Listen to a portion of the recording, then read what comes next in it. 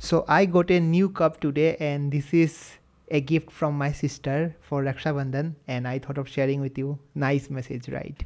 So welcome to day 3 of Verilog coding. Today we're gonna do very interesting thing because we're gonna write the first Verilog code for designing a chip, right? So it's going to be interesting if you see our progress then we have already like we will finish basic today.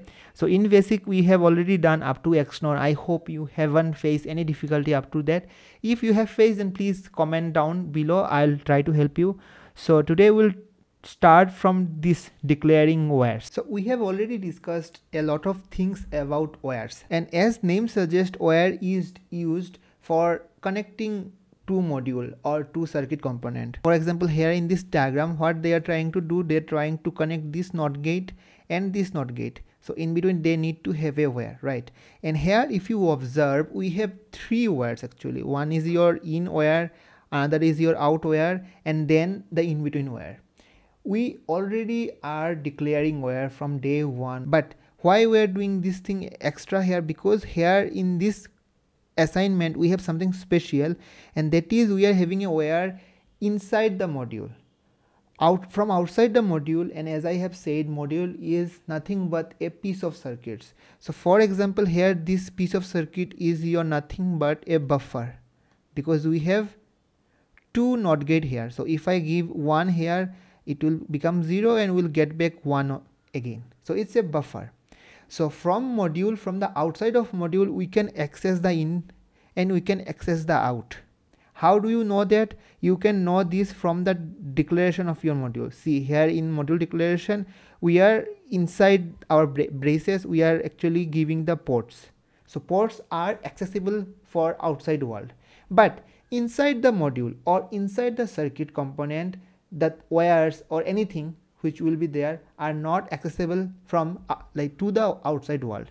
And that's the same thing is happening here. This wire won't be accessible from outside the world. So that's why we need to assign or we need to declare a wire inside. So they have already given you some hints here how they are defining actually. But i'll straightly go to the practice and in the practice they have a wonderful circuit here actually. It looking like a circuit a original circuit and a circuit which we generally keep on using in our normal life. So that's why from today onward problem gonna be interesting because you can relate with the things what we are doing here. So here they are like they have given us this module. You can see this is the circuit or the module.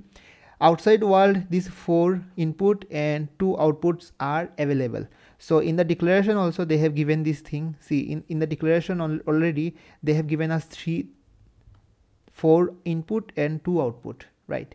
But in between but inside the module we have need to define one two and three wires. These two wires are the same one.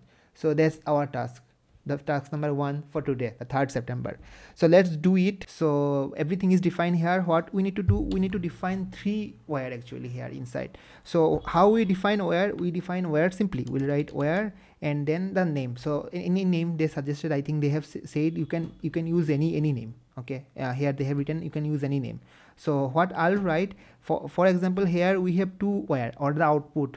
They are from AND. So for our simplicity what we'll write we'll write AND 1 and comma AND 2 you can oh i'm using comma yeah. You can declare your wire in the same line using a comma like multiple wire. And then another wire which is the output of a or gate. So i'll write or one. Or you can give any name as you want but it's okay. You can give anything. Its define definition is done. After that your AND one. AND one is the output of one of the AND gate and we already have done defining AND gate in behavioral domain and we know it. And how we do it? We do it assign. And what's are the input of your first AND gate? And those are a and b. So we will write AND one is the output of first AND gate and which will be a AND ampersand b semicolon. And for the second AND gate we will do the same thing and d. Keep a space in between. Sometime it create error and then we have a OR gate. So we'll write assign. And output of OR gate as we have defined here that is your OR1 right?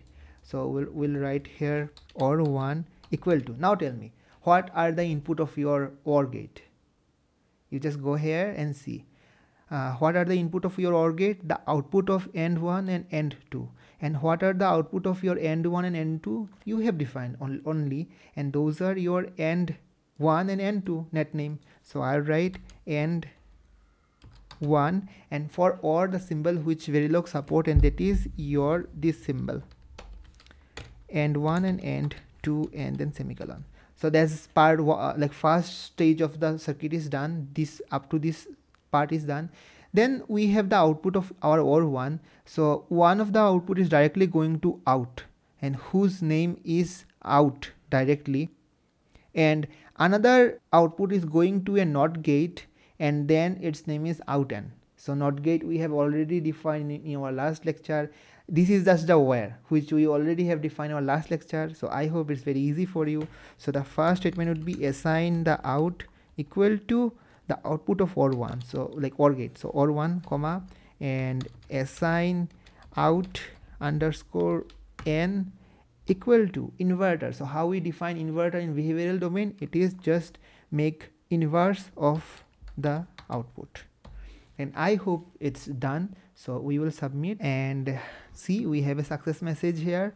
Uh, these are these are the input. Or the stimuli they have applied here. So they they can use any any any random input. Nothing our circuit should work for any random input right? So they have using this ran random input and they are telling me these are your output and these are our output like they the as the circuit they have designed. And after comparing these two mismatch are zero. So that means we have successfully completed task one of today. Now the task is very very very interesting and they're gonna be designing a chip very small chip but it's all okay. We, we are starting so we're gonna design a very complex chip in future so if you are excited don't forget to like this video and let's start. So the chip name is 74 yeah and you can buy this chip from from outside market 7458 so here they are saying that and here you can see uh, it is a general purpose chip. Here we have uh, actually 1 2 3 4 and gate and 2 or gate. But the ma main important thing because we are defining the Verilog code and that is we need to see our input and output. So here we have 1 2 3 uh, 5 by 5 10 input and 2 output. So in our module definition for sure we need to define them like from outside world what they can see. But inside the world what we have see uh, we have here 1 and then this is 2 and then this is 3 and this is 4 we have 4 internal net and after that we have 5 and 6 internal net. Those 5 and 6 net will become the output in, in, in the next stage, right? So we need to first define them inside the module because they are not accessible from outside the module. So let us do this task first. And before that, let us see what they are trying to tell us. Uh, you choose to assign statement. Uh, okay, okay, okay. Everything is there. If I go down, yeah. Uh, the good thing is that they already have defined us input here. Uh, 1, 2, 3, 4, 5, 6, 7, 8, 9, 10. Yeah they have defined they have also defined the output. So our first task would be to define how many wires? Five wire. So we will do that now. So we will write wire and uh, and we can give any name. So let us give name as i1 i2 i3 yeah. so now we need to define like which wire gonna be output of which gate. So we'll go up we will do like this. This is one uh, two three four and then five and six. Oh there are six net actually. One two three four five six six net. So we have one two three four. Yeah four from output of AND gate and two from output of OR gate. So let us do that thing here. So and also let's see uh, inputs like which input is going to which net like which gate. So our p2a and p2b are going to the first. So better would be let us do one thing. Let us take a screenshot of this and open the paint. Paste it here. And let us do it side by side. Yeah now it will be easy. Okay so from the side you can see that your first AND gate first AND gate like I'm, I'm referring to this one. I hope you can see it right? Or let me do the marking here. So this is your first AND gate. This is your second AND gate. For the first AND gate what we have? We have um, and out like we can define anywhere. So we'll define i1 i1 equal to p2a so p2a ampersand p2b okay. So first AND gate is defined. Then for second AND gate i2 equal to and we are missing something. Tell me what. We are missing the assign statement. Because these are the i1 i2 are the net type variable or they are continuously driven type variable variable or data type. We won't say variable actually data type. And for them we need to have a this statement assign. Otherwise it's a uh, error. They will show okay. So for i2 or the second gate it is our p2c ampersand p2d so that is also defined. Now we'll go to the third gate. We will write assign and for the third gate it is p1c and p1b so we'll, we'll write i3 equal to p1c ampersand p1b and for the last gate it is i4 equal to p1c and p1d uh, we, we have missed one thing here and that is that is a good thing actually see this AND gate first two AND gates first two AND gates are of your two input AND gate but then the third and fourth are three input AND gate so here we have p1b p1c and p1a so we'll write p1a here also. P1a ampersand.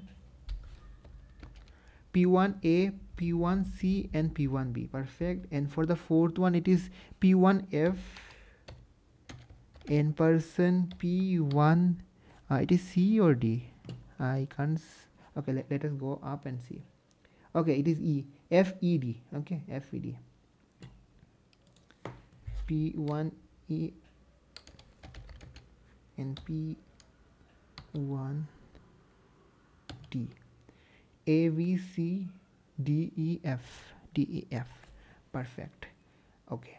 So up to this two these four AND gates are defined. Now we need to define our uh, one OR gate here and second OR gate here. So for the first OR gate our output can be any net name and we have already defined uh, five nets. So we need to have another net and that is i6 so first let us assume it's a i5 net. So i5 would be the output of your first and second AND gate. So output of your first and second AND gate are i1 and i2 so we'll write i1 and or symbol is this and i2 semicolon.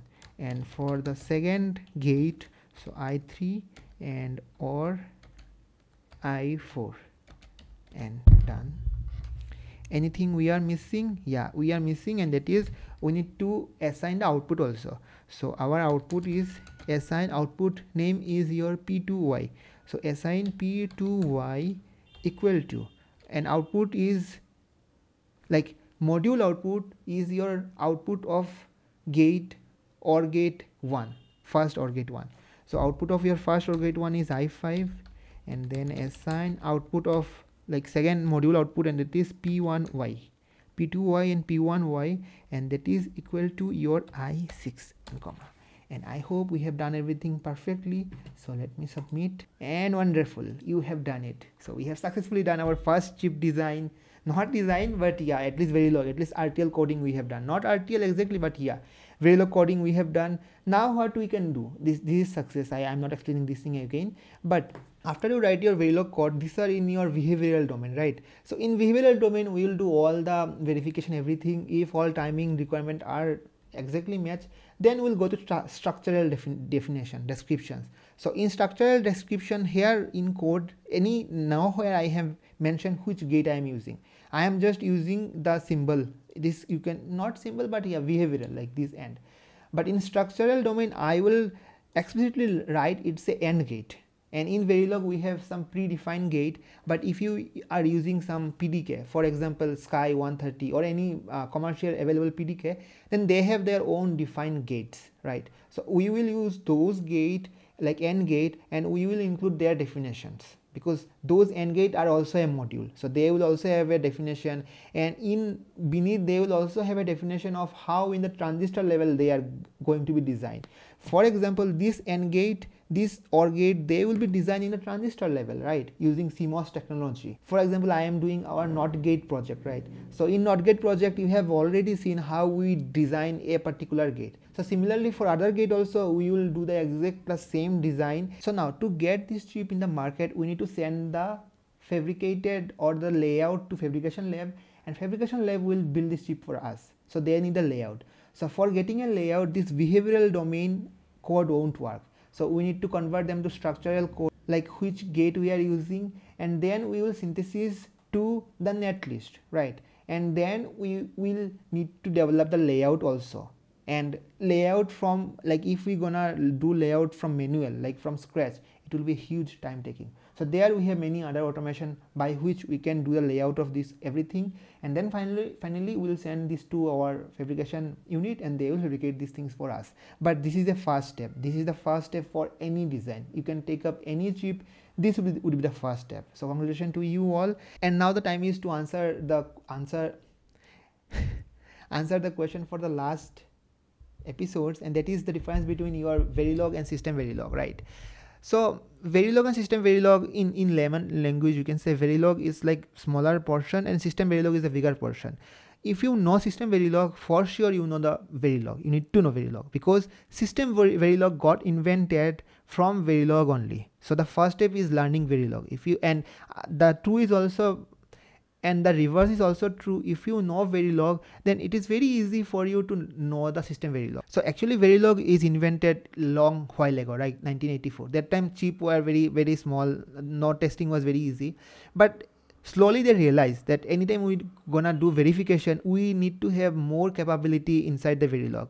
And that's where they taken the verilog and they included something more thing right to make it a verification language also. So system Verilog is your designing hardware language and also verifying the hardware language. So in system Verilog we have many different things. Like in Verilog you have a assigned statement, right?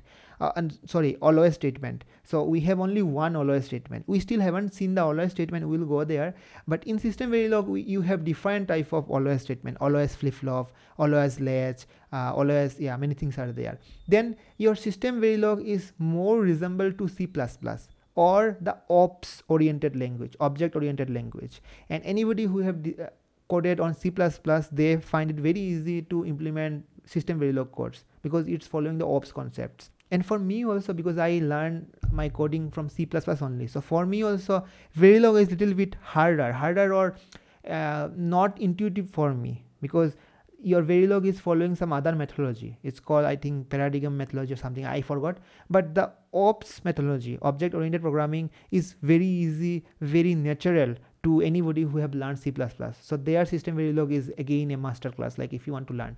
But again, the first step is always you should start from Verilog as I have started and in future if required then you can go for system Verilog. Now the question for today, we have two questions today and the first question is what are the two main classification of Verilog data type? You need to tell it. okay and the second question is what are the four data value Verilog supports? So I can give you one hint as digital are binary so 0 and 1 for sure it support. There are two other value also which verilog data type supports. So you need to give that answer. Write down in the comment section. I'll give everything in our next episodes. And we still to go 27 days. So there are a lot of thing gonna come. If you haven't subscribed please subscribe to channel. And this question which i am taking every day these are directly from interview questions